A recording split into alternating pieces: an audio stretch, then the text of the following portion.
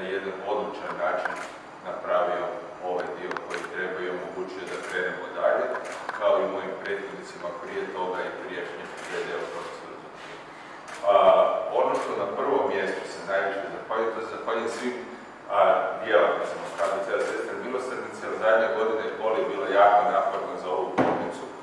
Osim COVID krize o kojem je jedan dio rekao i gospodin Dulić, imali smo i dva potresa koji su značajno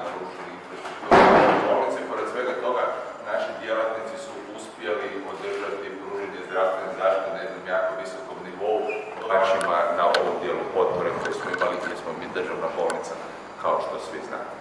Definitivno sam otvoren za sva pitanja, ali bih htio prije toga, prije nego što krenete sa pitanjima, siguran sam da ćemo imati, kolegi Vatruku dati trenutak, znači da vam se obrati iz jednostavnog razloga, jer je on do sada i vodio ovu bolnicu i siguran sam da će se, vam se želi obratiti, da će ti...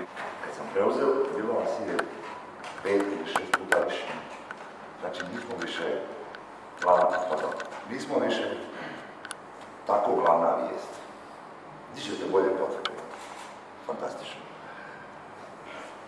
Vi ste zaboravili, ja nisam. Rekao sam, kad prođe ovo, odgovarat ću na sva vaša pitanja. Pa sam na raspoloženju.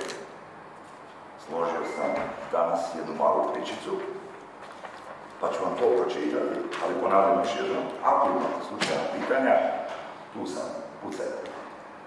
Dakle, što se tiče koji su prvi zadaci, znači, ako gledate ostalo, to je ono kolega Vatković počeo, će pratiti mir u bolnicu i sigurnost našim djelatnicima, ali na prvom mjestu našim pacijentima, da će dobiti vrhunsku uslugu kao što su zadnjih 175 godina dobivali u ovoj bolnici.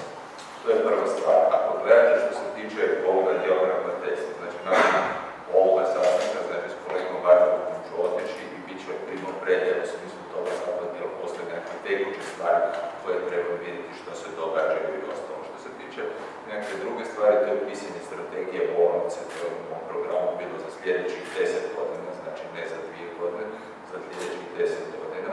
Nakon toga znači i ekipiranje i razgovor sa svim dionicima unutar bolnice, znači sa svim ustrojbenim jedinicama i ostalima. Ali znači prva i osnovna stvar je ovo. Nakon toga znači počinje nešto što je jako bitno i to bi bilo potrebno do kraja ove godine završiti. To je naš objedinjeni hitni bolnički prijem interne bolnice. To su ovi dijelovi koji vidite i koji su zahvaljujući su financirani europskih fondova. Znači, građevinski dio se bliži kraju, nakon toga ide opremanje, ali i organizacija.